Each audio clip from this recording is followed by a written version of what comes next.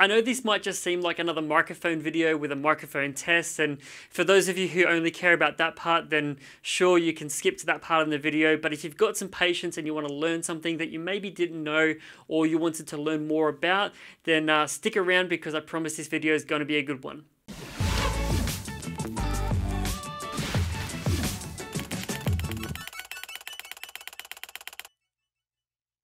So with microphones, there's basically two types of microphones that you can get for your PC or your Mac.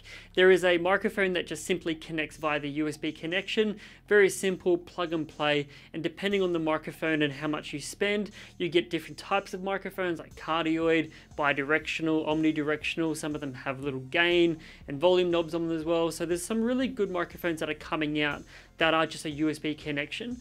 But if you're a streamer or maybe you're someone who wants to take your audio quality for your next conference call or for your next, I guess, video meeting or whatever it might be to the next level, or maybe you're just doing like at home recordings for a podcast or something, then something to consider is potentially going down the avenue at looking at XLR microphones. So XLR microphones or I guess devices with an XLR interface is pretty much a I guess a industry standard in the music business, in the entertainment business for things like microphones. So you can plug them into a mixer, you might have multiple microphones and you can adjust the level. So XLR definitely gives you a lot more versatility with the type of microphone that you can connect. You know, you might have the, the, the platform there for an XLR uh, connection, start off with a very basic microphone, and then as time goes on, you can change those microphones out without having to change your whole platform. So XLR definitely opens up a whole, I guess, range of products that you might not have, I guess, had exposure to sticking with that same USB connection. Now, XLR, because it is a I guess, type of connection that is really all about audio. It does mean that it's not a simple plug and play connection like USB that goes into the back of your computer or in the side of your laptop. You will need a few other things. And the reason why I guess I wanted to make this video is that there are a lot of XLR microphones on the market. And I mean, some of the most popular ones, like the ones from companies like Shure, who make great products, their SM7B microphone, which is kind of like the go-to microphone right now for a lot of streamers um, and podcasters and things like that. Those microphones start at about $750 here in Australia or around about $450 in the US. So it is definitely quite expensive and you still have to get a bunch of other products to make that microphone really sound its best.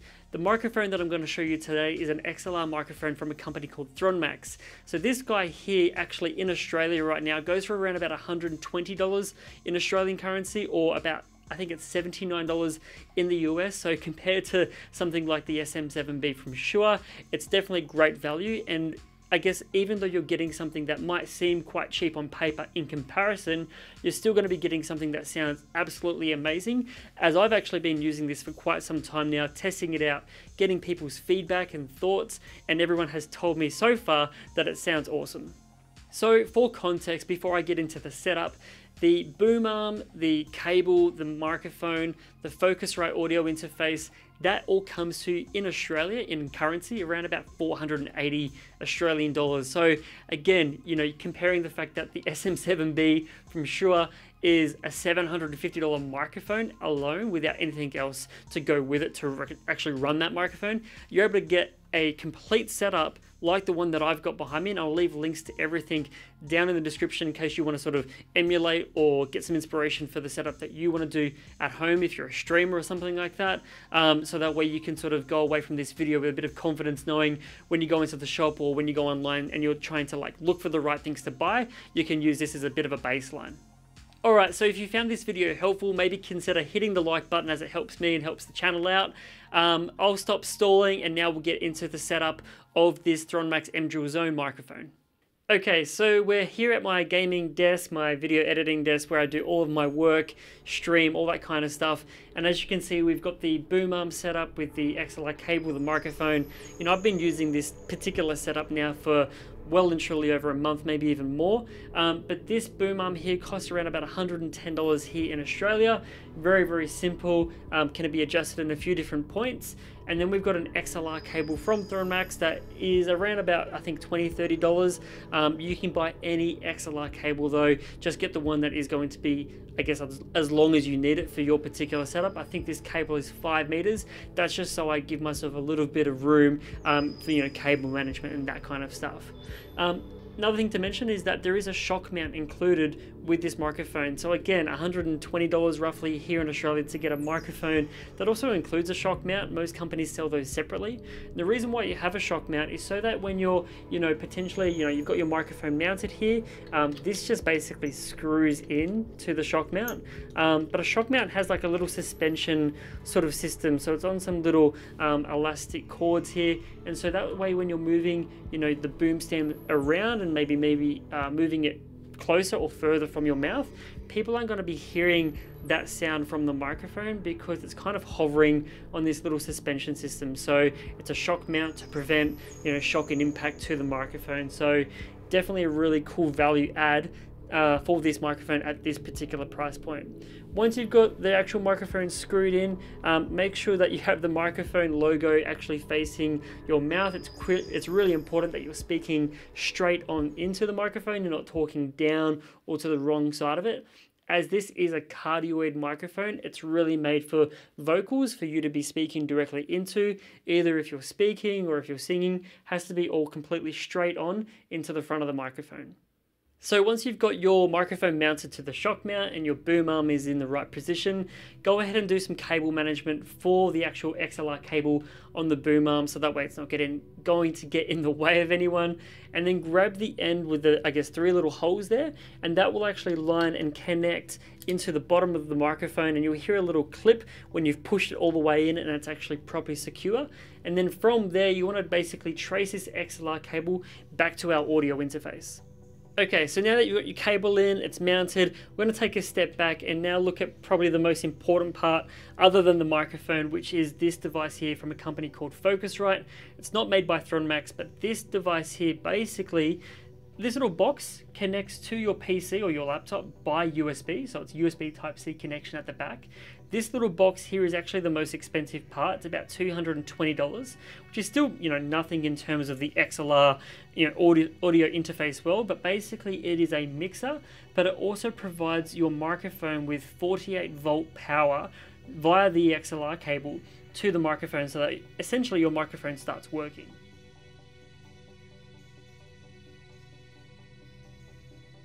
So once you've got your XLR cable inserted into the microphone input on the left hand side, you'll see basically down the bottom there that there are two little buttons. One is 48 volt and one is for air. This particular audio interface has some cool technology to make the microphone sound really, really good. But that 48 volt basically activates the microphone. So if you want to mute the microphone, you would just turn it off. Or you could also go ahead and use the adjustment dial here. This is to adjust the sensitivity. So if you want to do like ASMR kind of recordings, you could have that sensitivity all the way up. And when I'm speaking, you can actually see that because it's so sensitive, um, it's picking up my voice. If you're wanting to just, you know, speak normally into the microphone, maybe occasionally you might be gaming and, and yelling or something like that, um, you want to turn that sensitivity down a little bit so that way when you yell, it's not going to blow out the person's eardrum. So you can adjust that um, as you like. From there, you've actually got here, um, I guess the next important part, which is your monitoring part. So you would get a pair of headphones like the ones that I have here and go ahead and plug those in on the very far right hand side. And what this will allow you to do now is not just hear the sounds coming from your PC, but there's a button here for direct monitor. And what that will mean is everything that you're saying into the microphone, you'll be able to hear that without any latency back into your headphones.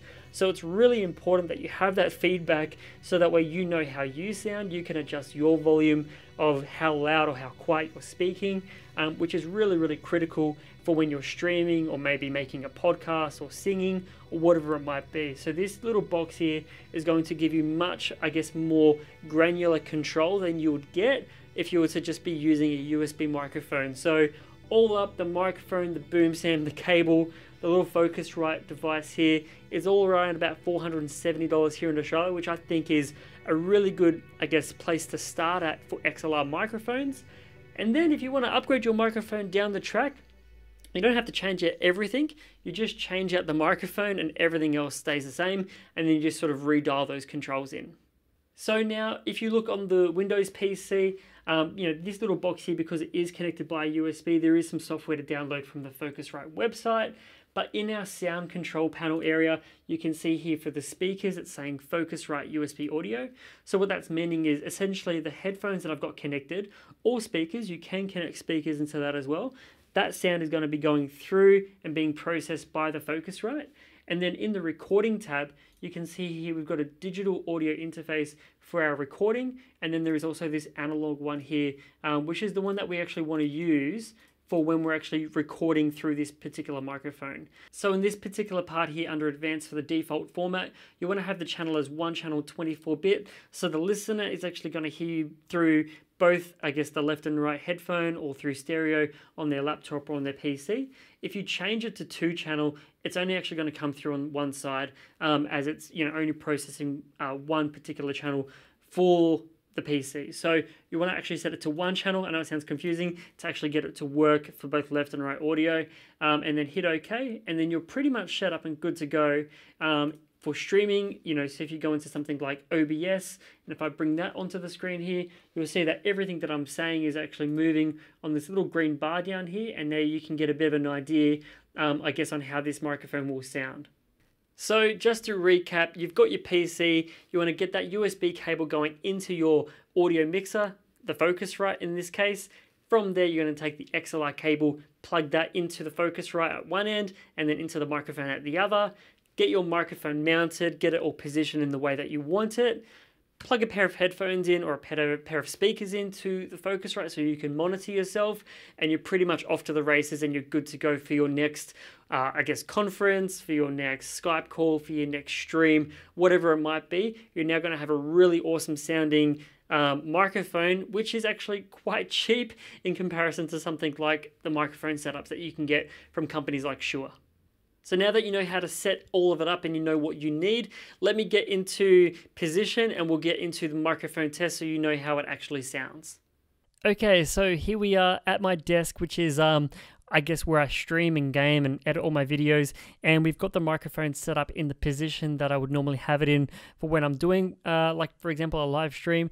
And everything that you're hearing right now is being processed and captured by the Thronmax Mdrill Zone microphone and the Focusrite audio interface, which is then, I guess, being captured by Adobe Audition um, in software. So everything that you're hearing right now is completely unedited completely raw. And uh, I think, you know, overall, this microphone sounds bloody amazing for the price. I'm actually so impressed. And compared to, you know, a USB microphone or any of the USB microphones that I've used in the past, this definitely surpasses all of those in multiple ways. Now, obviously, it is a little bit more expensive, but I think what it gives you is that versatility to change and really experiment with different microphones now that you've got this platform here. But also, it's going to really elevate your, I guess, content, your live streams, your podcasts, voiceovers, even just like your conference calls and things like that to the next level where people are probably going to be asking you just like they've asked me like what microphone is that it sounds awesome where can i go and get one it just sounds so much more professional etc etc um, in terms of the settings on the Focusrite, the sensitivity is set to around about 65%. And as you can see, I'm wearing a pair of headphones as well um, going into the Focusrite so I can actually hear myself back as I'm, I guess, making this recording. Um, and that's really helpful for me because then I know that I can, I guess, adjust the pitch of my voice um, or the volume of the volume of my voice to be louder or softer um, when I'm making a recording or on a phone call. And it's just a little bit easier to focus on what I'm saying, um, which I personally really like. Not everyone feels the same way, but I definitely really enjoy it. Um, you don't have to use headphones if you want to just use speakers, you can, but just be aware of using speakers that might, you know, come back through the particular microphone. So, if you are going to take um, your audio recordings quite seriously, you want to try and eliminate as much background noise as possible. Um, and what I'm going to do now is just for five seconds, I'm going to be completely silent, just so you can sort of hear um, how well this microphone picks up background noises or lack of um, in terms of the sound floor. So let me just be quiet for five seconds.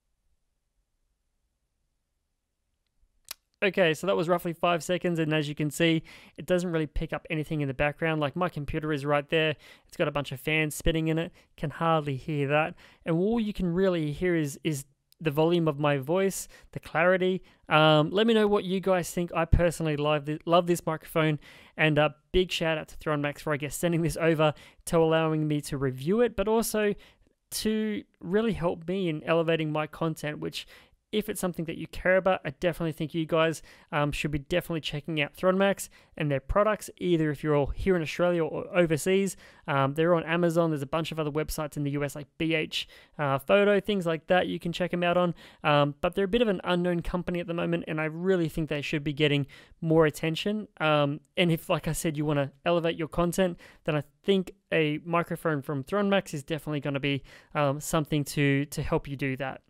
Alright guys, so you're at the end of this video. If you want something else to watch, maybe go and check out some of the other microphone videos that I did. There's a little card up in the corner there, I think. Hopefully. Card, card.